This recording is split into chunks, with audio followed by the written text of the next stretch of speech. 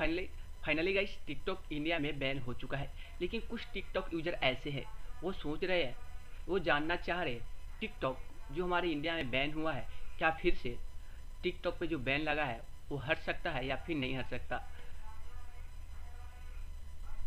क्योंकि कुछ टाइम पहले भी इंडिया में टिकटॉक बैन हुआ था, फिर से बैन हट गया था। फिर से लोग टिकटॉक यूज़ करना स्टार्ट कर दिए थे। क्या इस टाइम भी इस तरह से ही होगा। लेकिन पहले जब टिकटॉक बैन हुआ था, उस टाइम आप अपने मोबाइल फ़ोन में टिकटॉक अप्लीकेशन यूज़ कर सकते थे। लेकिन यहाँ पे टिकटॉक का जो सर्वर होता है, पूरी तरह से ब्लॉक कर दिया गया है इंडिया में। यानी कि फ़ोन में वो भी ओपन करते हैं तो कुछ इस तरह से ओपन देखने को मिल जाते हैं। तो इसके बारे में थोड़ी हम जानकारी तो इसके बारे में थोड़ा हम जानते हैं टिकटॉक आखिर में बैन क्यों हुआ और क्या टिकटॉक वापस आ सकता है इंडिया में?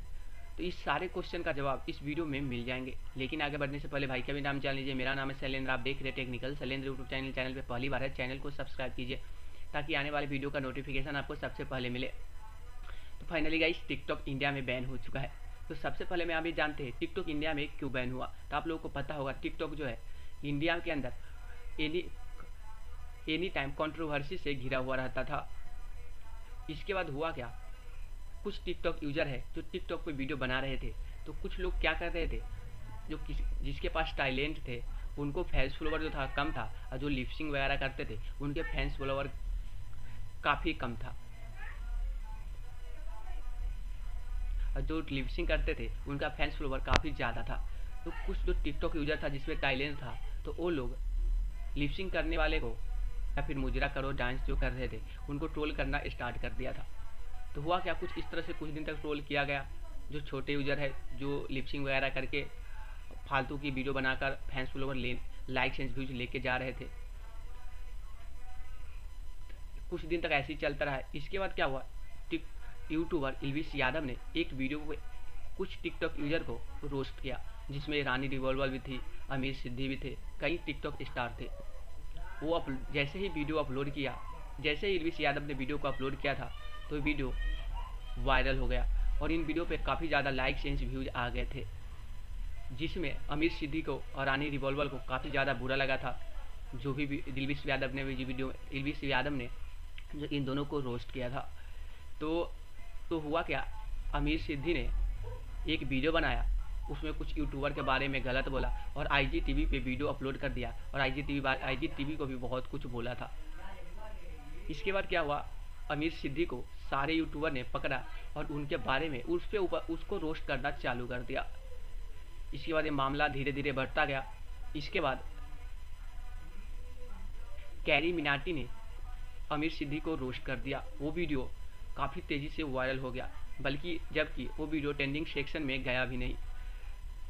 उस वीडियो पे अच्छे खासे रिस्पॉन्स मिलना हो, मिलना चालू हो गए। इन वीडियो पे 70 मिलियंस के आसपास व्यू चले गए थे और 10 मिलियंस लाइक्स के आसपास क्रॉस कर दिया क्रॉस कर गया था। क्रॉस कर दिया गया क्रॉस हो गया था। ये वीडियो कई सारे कैरी मिनाटी के वीडियो, द इंद कई सारे रिकॉर्ड को ब्रेक कर रहा था। इतने में ही उस वीडियो को डिलीट कर दिया गया। यूट्यूब के कारण इस वीडियो को यूट्यूब ने डिलीट कर दिया। हरासमेंट एंड बुलिंग के कारण।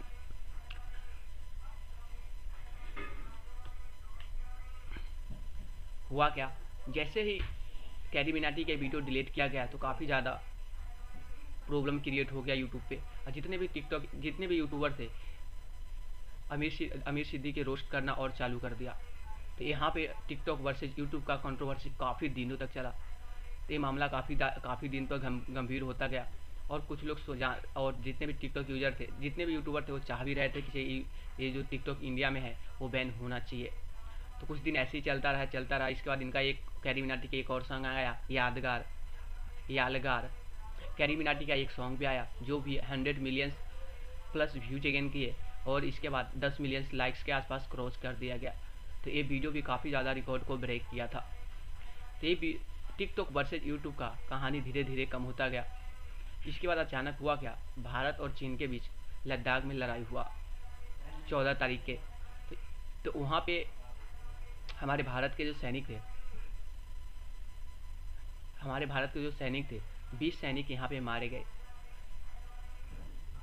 मारे जाने के बाद यहाँ पे बहुत बड़ा फैसला लिया गया इंडियन गवर्नमेंट के द्वारा और टिकटॉक के साथ साथ फिफ्टी नाइन्स ऐप को बैन कर दिया गया इंडिया में। तो बैन हो चुका है तो यहाँ पे टिकटॉक इंडिया ने इंस्टाग्राम पे एक पोस्ट शेयर किया था, उसमें बताया था कि हम ऐसा किसी भी जो टिकटॉक यूज़र है, उसका हम डॉक्यूमेंट को मिसयूज नहीं करते हैं।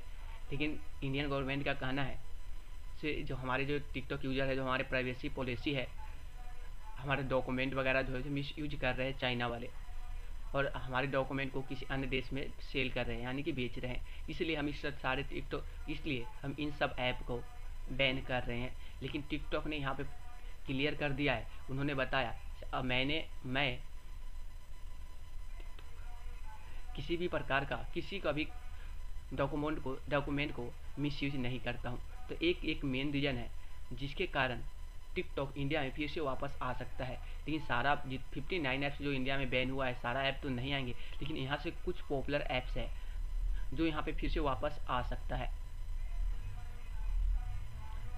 यदि यदि आप, यदि और, यदि टिकटॉक टिकटॉक के लेकर कुछ और भी सवाल है तो आप हमारे आप कमेंट बॉक्स में अपना ओपिनियन यदि इसके इसके रिलेटेड यदि आप लोगों को किसी भी प्रकार का कोई क्वेश्चन है तो अपना ओपिनियन कमेंट सेक्शन में बता सकते हैं।